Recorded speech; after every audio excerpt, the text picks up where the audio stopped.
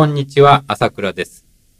私はこれまで福島から原発事故で首都圏に避難されてきた小中学生、あるいは児童養護施設、母子生活支援施設の小中学生など、様々な事情を抱えた小中学生に数学や理科を教えてまいりました。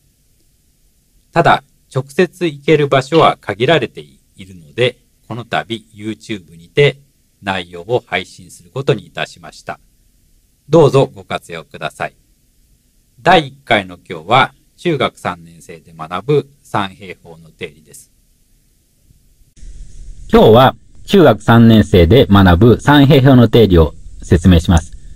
直角三角形 ABC があったとき、直角を挟む2つの辺 AC、BC の長さの2乗の足し算は、斜辺、残りの辺 AB の長さの2乗に等しくなる。これが三平方の定理と言います。3つの辺の長さの2乗、平方の関係を示した式なので三平方の定理と言います。この定理を使うと、2つの辺の長さが分かっていれば直角三角形においては、もう一つの辺の長さが計算できるということになります。逆に、直角だと分かってない場合に、3つの辺の長さがこの式を満たすと分かると、逆に直角三角形というふうに分かるということも言えます。この図では直角が右下に書いてありますが、直角が仮に上に書いてあっても、向きが違ってもこの定理は成り立っております。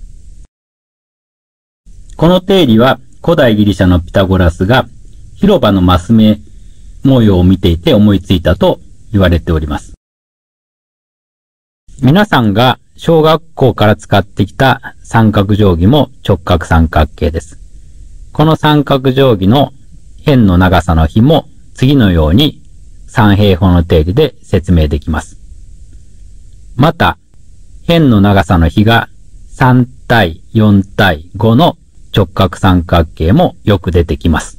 数字の上に載った屋根のような記号をルートと言い、これは2回かけるとその数になる数を示します。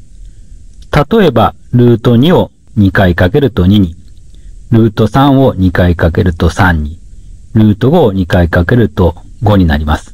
ルート2、ルート3、ルート5は無限に続く小数であり、その小数点以下7、8桁までが、ルート2は人よ人よに人見頃、ルート3は人並みに汚れや、ルート5は富士山六大胸くと語呂合わせで覚えることができます。ルートの意味を踏まえて、先ほどの3つの直角三角形の三平方の定理の式を確認してみてください。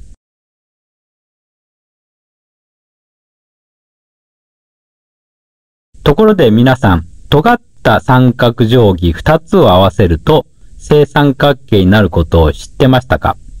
これを使うと一辺の長さが A の正三角形の面積を求めることができます。左半分の直角三角形の辺の比は2対1対ルート3です。すると、一辺の長さが A の辺の比は A 対2分の A 対2分のルート 3A。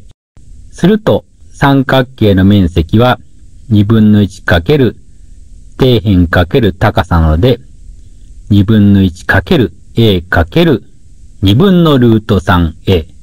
よって、4分のルート 3A2 乗という計算ができます。三平方の定理を使うと、社会の現場で役立つ計測などをすることができます。森林に行くと、丸太が半分以上地面に埋まっているような場面があります。その時にその丸太の半径はどうなるのでしょうか実はこれは千葉県公立高校入試の2012年の後期に出題された問題です。問題文読みます。地中に半分以上埋まっている丸太がある。図のようにこの丸太の切り口は円であり、地上に出てる部分を測ると高さが9センチメートル。弦の長さが42センチであった。この時、丸太の切り口の半径を求めなさい。丸太を掘り出すのは大変ですから、掘り出さないままで三平方の定理で求める問題です。ここで自分でじっくり考えたい人は映像を止めてみてください。図で丸太の中心と真上、そして同じく中心と弦の左端を結ぶ青い三角形を考えてみます。これを横倒しにして切り出してみます。すると赤い部分が半径となり、ここを r センチメートルと考えます。次に、この灰色の三角形1で三平方の定理を考えます。底辺が r-9 センチメートル、高さが21センチメートルの直角三角形ですので、r-9 センチメートル2乗、プラス21センチメートル2乗、イコール斜辺の r の2乗となります。これを展開して整理すると、r が29センチと出てきます。1回の説明でわからなかった人は、もう一度映像を見返したり、紙に実際に図を書いて考えてください。いかがでしたでしょうか？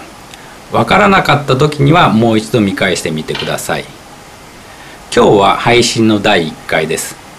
これからも様々な内容で配信をしてまいります。何か映像にご意見がありましたらお寄せください。私の配信が皆様の学習に役立てば幸いです。ご清聴ありがとうございました。